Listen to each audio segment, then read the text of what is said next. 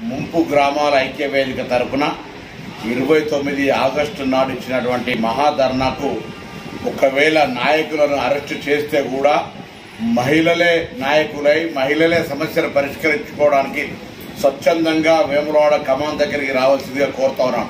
మమ్మల్ని అందరినీ ముందస్తు అరెస్టు చేయవచ్చు కానీ మహిళలుగా మన ఆకాంక్షలకు ముఖ్యమంత్రి గారు ఇచ్చిన హామీని అమలు చేయమని అధికార పార్టీ మీద ఒత్తిడి తేవడానికి జరుగుతున్న ఈ మహాధర్నాలో ప్రతి మహిళ ముంపు గ్రామాలకు సంబంధించిన వాళ్ళు ఉపాధి అవకాశాలు ఏర్పాటు చేయాలని ప్రభుత్వం మీద జరుగుతున్న మా ఆదరణ కాబట్టి అందరూ ప్రతి ఒక్కరూ తమ బాధ్యతగా ఇదే బొట్టు పెట్టి పిలిచి ఆహ్వానంగా భావించుకొని మీరు ధర్నాలో పాల్గొనే ప్రయత్నం చేయండి. మన నాయకులందరూ అరెస్ట్ చేస్తారు కావచ్చు.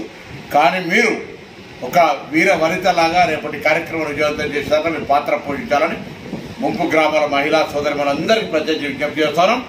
ఇవాళ ప్రభుత్వం మీద డిమాండ్ చేస్తాం. రాకపోతే కాంగ్రెస్ మేనిఫెస్టోలో పెట్టి ప్రభుత్వం రాగానే ఇస్తామనేటువంటి విశ్వాసాన్ని కూడా మీకు ఇస్తూ పోరాటము తప్పకుండా మన సమస్య పరిష్కారం కోసం పోరాడుతా ఉన్నాం.